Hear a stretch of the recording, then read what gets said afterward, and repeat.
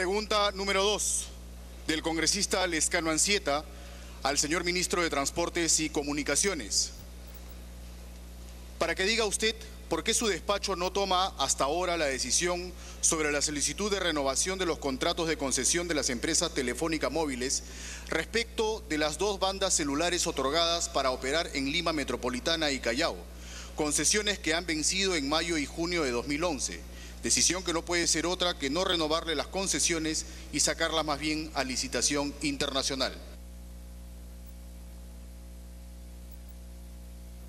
El señor Escano está presente. Por supuesto. Eh, para que responda, tiene tres minutos, señor ministro. Gracias, presidente, por su intermedio. Contestando a la pregunta del señor congresista, mencionar que efectivamente no solamente hay dos contratos que se han vencido en mayo y junio del año pasado, sino hay un tercero que acaba de vencer en febrero de este año. Fue política del sector esperar el vencimiento de ese tercer contrato que corresponde a la telefonía móvil de provincias, de manera de poder adoptar una política integral respecto a todos los contratos de telefonía móvil que están venciendo.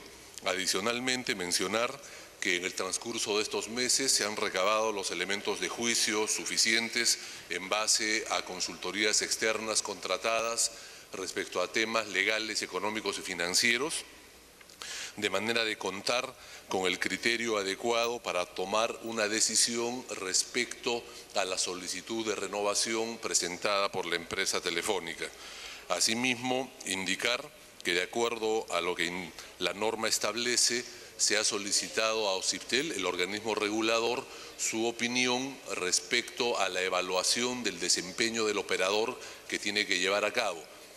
De hecho, es en función a esta opinión que también eh, el sector tomará una decisión respecto a la solicitud de renovación eh, planteada. Eso es todo. Gracias. Tiene eh, un minuto para formular una pregunta, si lo tiene bien, congresista Lescano. Sí, señor presidente, buenos días a los ministros.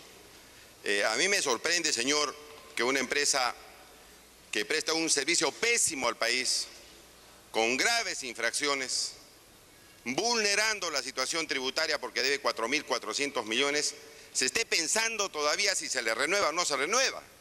Esta es una burla, señor, a los millones de usuarios que tenemos en el país, porque saben todos los peruanos que el servicio es verdaderamente desastroso de esta empresa.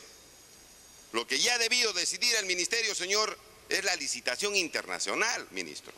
No hay ningún informe ni técnico ni legal que permita una renovación. Aquí le tengo dos informes, reportes oficiales. Estos señores reportan que en el Perú tienen 13 millones de teléfonos móviles y al Perú le hacen creer que tienen 18, señor para acogerse a una serie de beneficios que le da el Perú.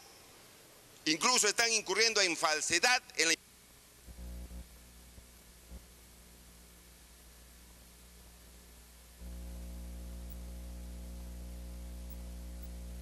Muy, bien, la, la, repregunta ha sido clara, ¿por qué no se licita la señal móvil, cierto? Para que responda, señor ministro.